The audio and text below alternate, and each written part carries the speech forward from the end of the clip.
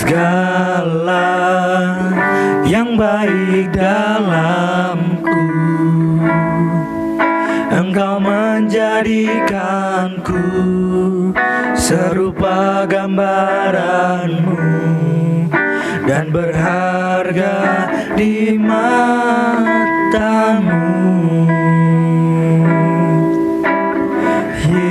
Yesus kau telah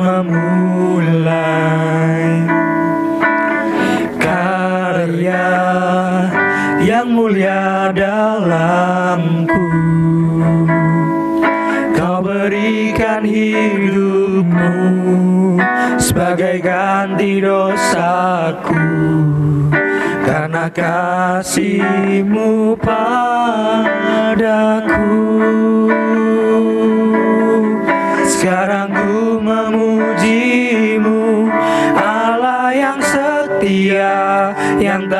pernah meninggalkan Perbuatan tanganmu.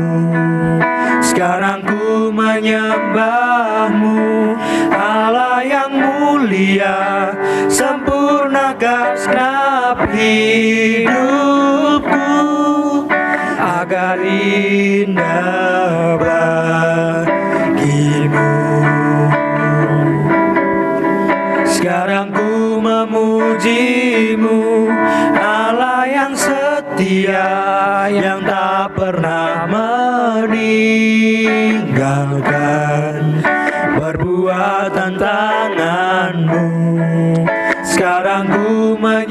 menyembahmu Allah yang mulia Sempurnakan segenap hidupku.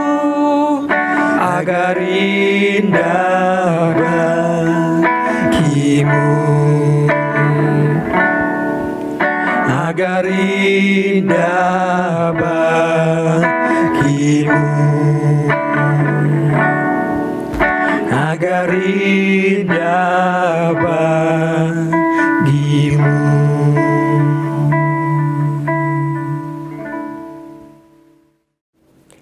Shalom, selamat pagi Bapak Ibu Saudara yang dikasih Tuhan. Kita bersyukur karena Tuhan memberikan kesempatan kepada kita pada pagi hari ini untuk bersama-sama mengikuti ibadah doa pagi. Kita mau merenungkan firman Tuhan dan menaikkan setiap pokok doa kita. Mari kita bersama-sama berdoa. Terima kasih Tuhan karena Engkau sudah memberkati kami dalam istirahat kami semalam hingga pada pagi hari ini kami boleh bangun dengan kesehatan yang baru, dengan kekuatan yang baru dari Tuhan. Saat ini Tuhan kami mau menyerahkan hati dan pikiran kami untuk uh, merenungkan firman Tuhan.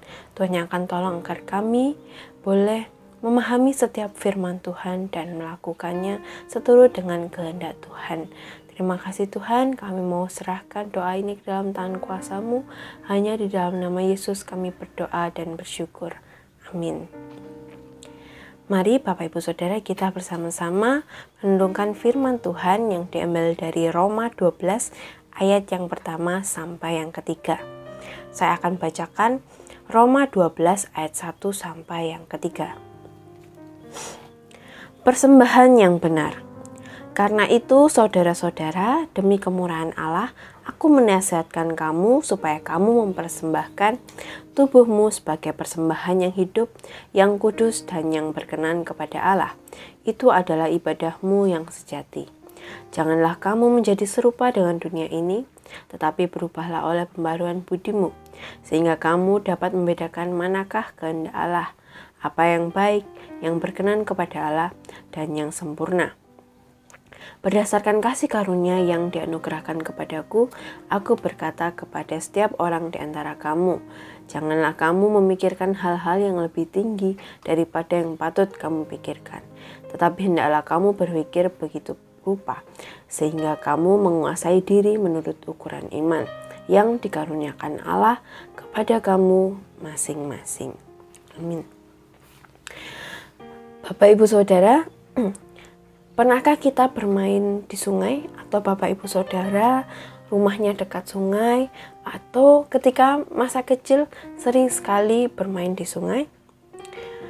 Kalau bermain di sungai, saya dulu suka sekali untuk meletakkan daun, menaruh daun supaya daun mengikuti aliran sungai. Bahkan dibuat untuk berlomba-lomba. Daun siapa yang paling cepat uh, berjalan atau daun siapa yang paling cepat berada di depan. Nah, itu hal yang menyenangkan.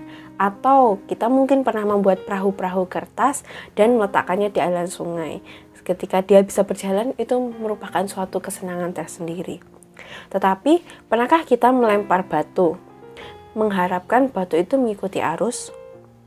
Tentu saja tidak mungkin karena batu sangat berat dan dia pasti akan tenggelam, tidak bisa mengalir seperti kertas ataupun uh, daun tersebut. Nah, hal tersebut berkebalikan dengan perenungan kita hari ini. Judul renungan kita hari ini yaitu sikap hidup baru dalam berpikir. Kita akan melihat dahulu di ayat yang pertama. Karena itu saudara-saudara demi kemurahan Allah aku menasihatkan kamu supaya kau mempersembahkan tubuhmu sebagai persembahan yang hidup. Paulus meminta kita untuk mempersembahkan tubuh kita kepada Tuhan. Nah, kata tubuh di sini uh, memiliki dua makna. Yang pertama, makna secara harfiah tubuh yaitu badan kita. Atau yang kedua, makna tersiratnya yaitu keseluruhan hidup kita. Jadi bukan hanya tubuh yang bisa kita lihat tapi keseluruhan yang ada di dalam diri kita, diri pribadi kita yang disebut dengan tubuh yang mencakup uh, hal rohani atau iman kita juga. Lalu, mengapa kita diminta untuk mempersembahkan diri kita? Dikatakan Persembahkanlah tubuhmu sebagai persembahan yang hidup, yang kudus, dan yang berkenan kepada Allah itu adalah ibadahmu yang sejati. Lalu di ayat yang pertama di awal, karena itu saudara-saudara demi kemurahan Allah, aku menasihatkan kamu. Mengapa kita diminta untuk mempersembahkan diri kita? Karena kemurahan Tuhan. Kemurahan Tuhan ini meliputi segala sesuatu yang ada di dalam kita, diri kita, yang Tuhan sudah berikan kepada kita hal yang baik menurut manusia atau hal yang tidak baik menurut manusia itu semua merupakan kemurahan Tuhan. Tuhan mengizinkan segala sesuatu terjadi walaupun menurut manusia itu tidak baik, itu merupakan kemurahan Tuhan. Karena Tuhan mau memberkati kita, Tuhan mau mengajarkan kepada kita untuk hidup bergantung kepada Tuhan. Lalu tujuan kita mempersembahkan diri kita ini apa? Yaitu memuliakan nama Tuhan, menyenangkan hati Tuhan. Karena itu semua merupakan wujud atau merupakan bukti dari ibadah yang sejati. Bapak, ibu, saudara, kita ini manusia berdosa. Kalau kita menyadari kesalahan kita, menyadari dosa kita, kita mau mengakui dosa kita dan memohon ampun kepada Tuhan. Setelah mohon ampun, kita mau berbalik. Kita mau berbalik kepada jalan Tuhan yang benar.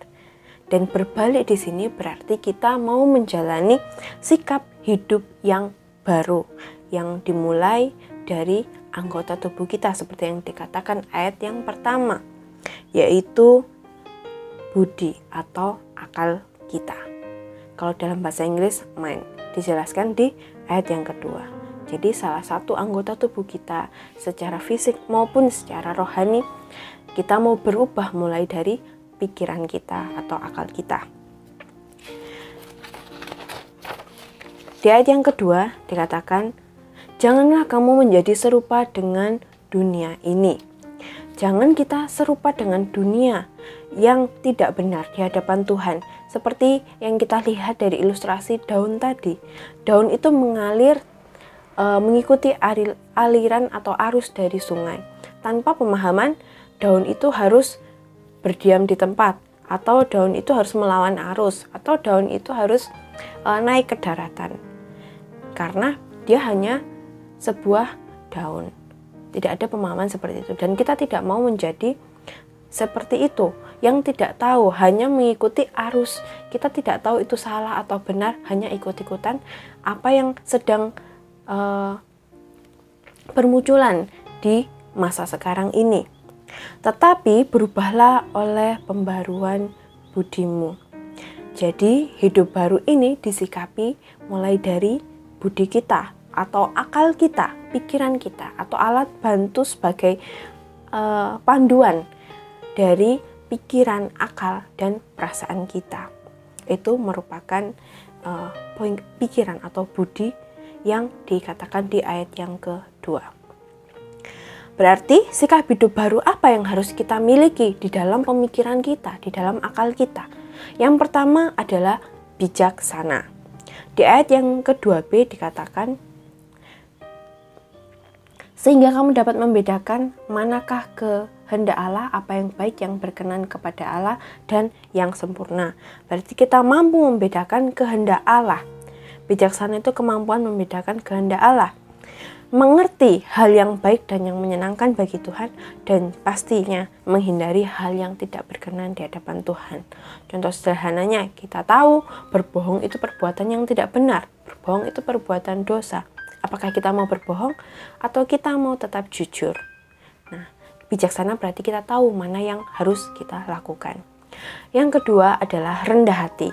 Di ayat yang ketiga, Dikatakan berdasarkan kasih karunia yang dianugerahkan kepadaku, aku berkata kepada setiap orang di antara kamu, janganlah kamu memikirkan hal-hal yang lebih tinggi daripada yang patut kamu pikirkan, tetapi hendaklah kamu berpikir begitu rupa sehingga kamu menguasai dirimu menurut ukuran iman yang dikaruniakan Allah kepada kamu masing-masing.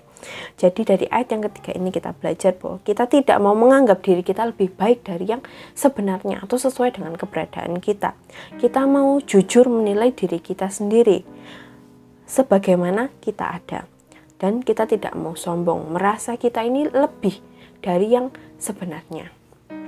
Jadi contoh sederhananya ya kalau kita bilang atau kita berpikir kita mau peduli saya mau peduli dengan orang lain. Ketika ada yang membutuhkan saya mau peduli kepada mereka. Tapi ketika orang lain membutuhkan bantuan seakan-akan kita pura-pura tidak tahu. Nah itu e, sikap yang tidak menunjukkan kerendahan hati. Kerendahan hati berarti kita mau mengakui diri kita sebagaimana kita ada dan bisa melakukan hal yang sesuai dengan kehendak Tuhan.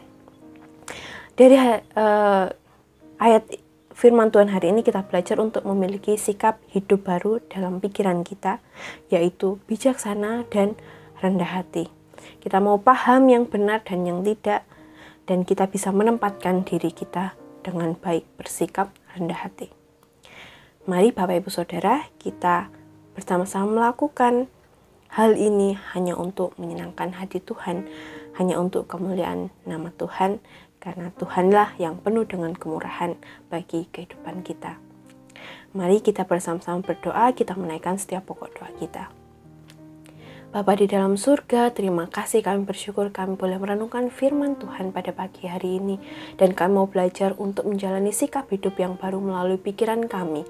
Kami mau hidup bijaksana, kami mau hidup rendah hati di hadapan Tuhan. Dan kami mau serahkan Tuhan untuk setiap pokok doa kami hari ini. Kami mau menyerahkan Tuhan untuk uh, proses pemberkatan dan resepsi pernikahan dari saudara kami, uh, Saudara Christian Bayu dan Saudari Ayu Wahyuningsi, Tuhan yang akan memberkati setiap uh, proses yang dijalani Tuhan mulai dari pagi hingga selesainya acara nanti. Tuhan yang akan campur tangan untuk memberkati setiap keluarga, setiap panitia, setiap orang yang hadir untuk dapat mengikuti setiap acara dengan baik. Tuhan yang akan memberikan kelancaran, Tuhan yang akan memberkati uh, jalannya acara hari ini. Terima kasih Tuhan. Kami mau berdoa juga Tuhan untuk uh, segala persiapan ibadah dan juga segala kegiatan Tuhan yang akan kami laksanakan esok hari. Tuhan yang akan memberkati kiranya ibadah boleh berjalan dengan baik mulai dari awal hingga akhir. Setiap pelayan boleh mempersiapkan diri dengan baik untuk melayani dengan sungguh. Kau juga berkati untuk uh, acara dalam melantik pelantikan panitia perancang gereja di tahun 2022 ini Tuhan yang akan memberikan uh, berkat Tuhan supaya setiap uh, panitia perancang yang dilantik Tuhan boleh dengan sungguh-sungguh melaksanakan tugas dan tanggung jawab uh, yang harus diemban. Kami juga berdoa untuk uh, pengukuhan Bapak Sarono sebagai evangelis Tuhan yang akan memberkati, berikan uh, hati Tuhan yang sungguh-sungguh tulus ingin melayani Tuhan dan kau berkati untuk setiap uh, prosesi yang akan dilaksanakan supaya berjalan dengan baik. Terima kasih Tuhan, kami mau serahkan setiap doa kami ke dalam tangan kuasamu, Engkau yang tahu setiap uh, pergumulan kami Tuhan. Kami mau serahkan doa ini hanya di dalam nama Yesus kami berdoa dan bersyukur. Amin. Terima kasih Bapak Ibu Saudara, selamat menjalankan aktivitas hari ini. Tuhan Yesus memberkati.